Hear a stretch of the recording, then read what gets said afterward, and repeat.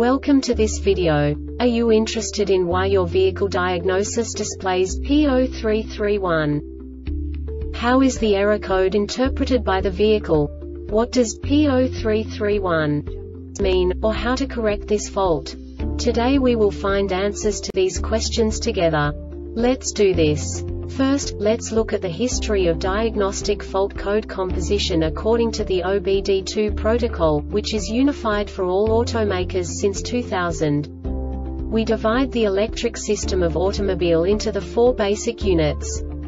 Powertrain, body, chassis, network. This distribution is defined in the first character code. If the second character is expressed as zero, it is a standardized error. In the case of numbers 1, 2, 3 it is a more prestigious expression of the car-specific error. The third character specifies a subset of errors. The distribution shown is valid only for the standardized DTC code. Only the last two characters define the specific fault of the group. Let's not forget that such a division is valid only if the other character code is expressed by the number 0. Our website airbagreset.sk produces useful videos for you. You do not have to go through the OBD2 protocol anymore to know how to troubleshoot any car breakdown. You will find all the diagnostic codes that can be diagnosed in a Infiniti vehicles. Also many other useful things. The following demonstration will help you look into the world of software for car control units. You unbelievably can move the video a bit further. The error code is split into two bytes consisting of 16 bits.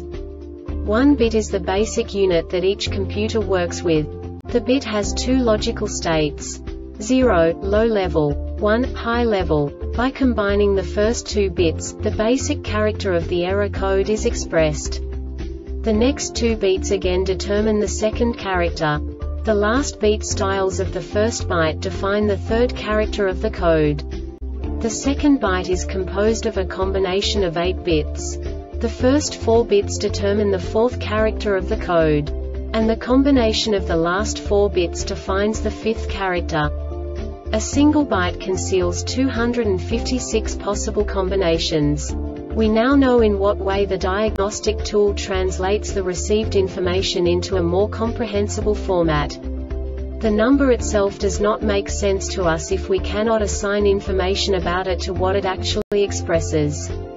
So, what does the diagnostic trouble code P0331 interpret specifically, Infiniti car manufacturers? The basic definition is rear wheel speed sensor circuit.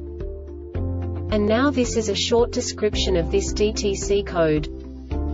C0055 The ignition is on the vehicle speed is greater than 13 km per hour 8 miles per hour The ignition is on the vehicle is not moving.